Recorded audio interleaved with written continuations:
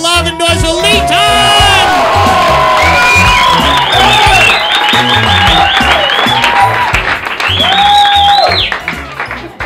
Hey, what you use my good material for?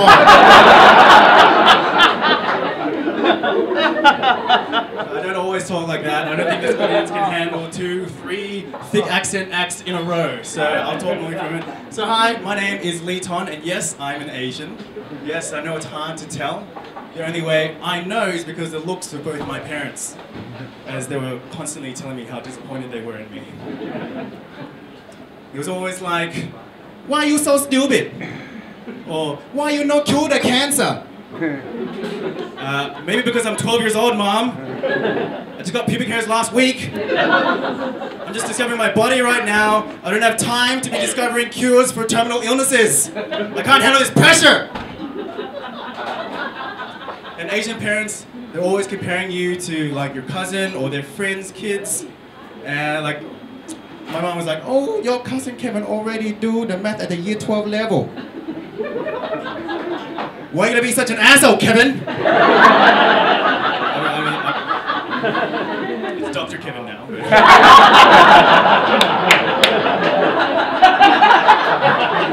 so yeah, primary school wasn't that great for me. Then there was high school. Oh, uh, you look like you went to high school. Uh, what, what electives did you do in high school? Woodwork. I don't even know what woodwork was. Do you know what electives my parents allowed me to do in high school? Chemistry, physics, IT, and motherfucking textiles. Why textiles? So, as I'm studying to get into medicine at Monash, I can make an LV wallet on the. So yeah, high school wasn't that great for me either. Another reason why high school wasn't that great was um, high school was pretty clicky. You know, there was the, the cool kids, then there was the nerds, and then there was the bullies. And the bullies were the worst. You know, all I wanted in high school was for one day just to fit in. But I was just so tall and my English was perfect that all the cool boys, they didn't even know I was alive. And I've got nothing against white people. I don't. You know, my mom, she raised me with good values. You know, she taught me never to judge someone by the lack of color of their skin. they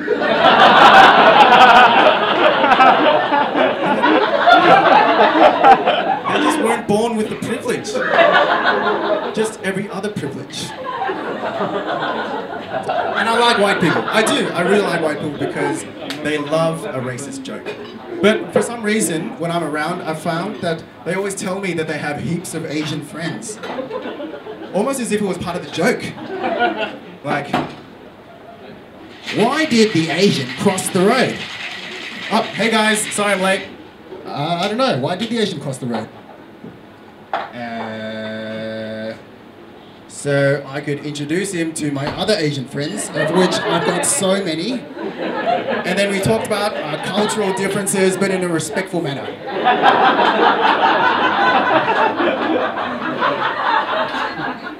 Okay.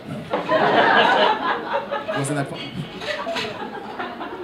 But, um, you know, white people, if you have an Asian friend, it does not give you a pass to say a racist joke. If anything, it makes me paranoid that my white friends are only friends with me so that they can say racist jokes.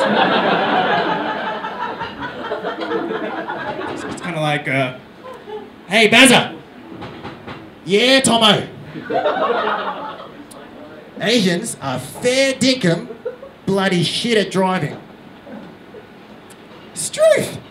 Careful, mate. That's a bit racist. Someone might hear you.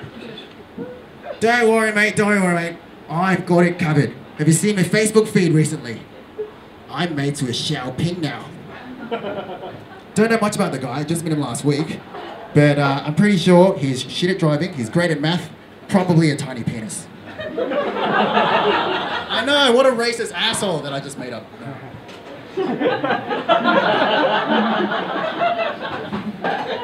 Okay, um, uh, help me out. Uh, one of these, um, help me with, it's called something. It's, uh, it's, it's got two wheels, it's electronic, you stand on it, and then you, it kind of zips you around, but you don't have to walk. What are they called?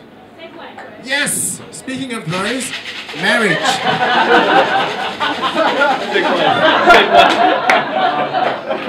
Are there any married couples in the audience? There we go. Thank you so much for coming out tonight. I'm so sorry that you're married. Get your drink later. But um, a comedy show is pretty good for a married couple, right? Because you know you get to go out, you spend time with each other, but you don't have to interact or talk to each other the entire night. It's the ideal situation for a married couple. So you're welcome.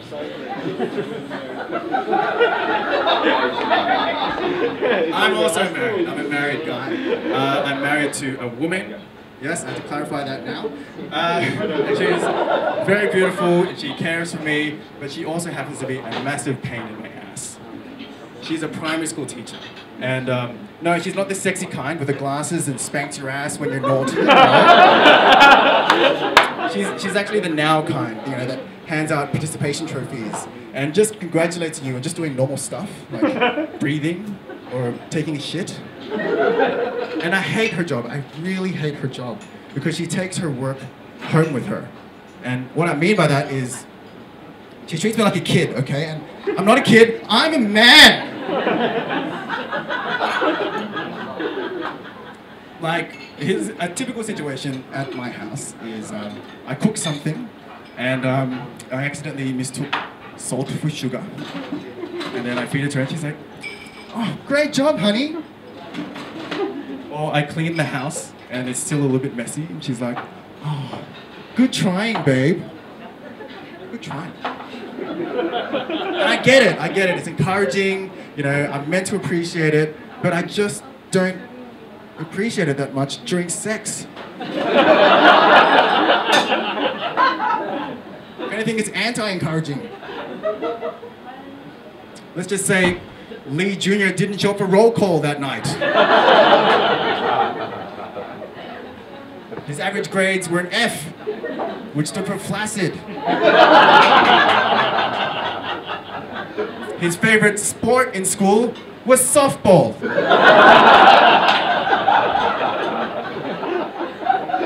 I'm talking about erectile dysfunction, guys, just in case it wasn't clear. But I did have a kid. By some miracle, I did have a kid. And we found out the gender straight away because um, having a kid should not be like going to the casino. You know, like.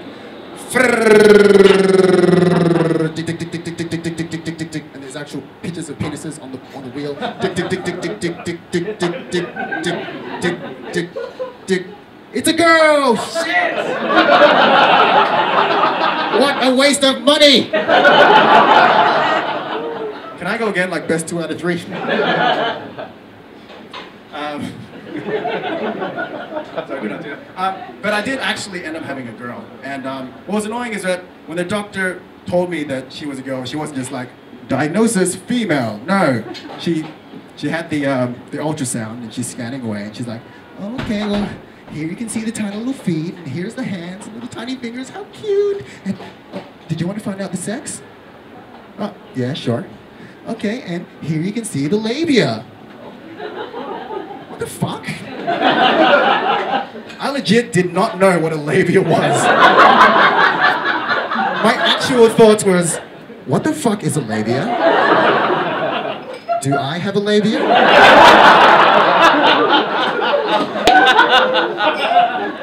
Is labia another word for penis? I really hope labia is another word for penis. Turns out it's not. And now I have a beautiful baby girl who grew up to be just like her mother, beautiful, caring, and a massive pain in my ass. who was delivered in a hospital by a doctor. Speaking of doctors, I did not become a doctor. Ah, better segue than Segway? Thank you. I did not become a doctor. Instead, I pursued acting and stand-up comedy. Here we go. And um, I have to say that being Asian trying to break into Australian TV and film is incredibly hard. Very, very hard. Because there's only two jobs for us out there. There's, um, there's Vietnamese drug dealer. then there's Korean drug dealer too. I did go to an audition recently and uh, they gave me two lines. It was, um, uh, how could you do this to me? I'm so disappointed. So I get up there and then I'm like, how could you do this to me? I'm so disappointed. You know, I dropped that Oscar shit, right? And then the casting director's like, great, that was great, but could you do it again as if you were Asian? what she means by that, I have no idea, but I really want the job, so I do it the only way I know how.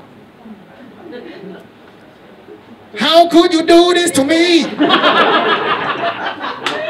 I'm so disappointed. Do you like some cocaine?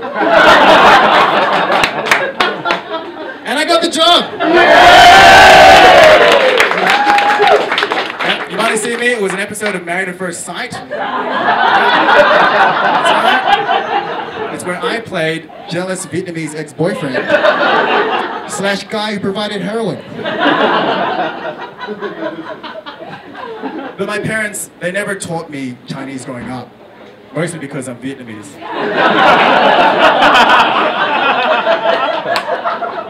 But also, my parents only spoke two languages fluently. It was um, Vietnamese, obviously, and shitty, shitty English. Which is okay because that shitty English still entertains me to this day. Um, I started a, an office job recently, and um, my dad comes up to me and he's like, Hey boy! At your new job, do you have the fuck machine? A what? You know the the the fuck machine? No. And Dad, I don't know if I want to ask you this, but what is a fuck machine? You know the, the, the, the, the machine, you put in the paper, you press the button, and then you send the paper to the other fuck machine.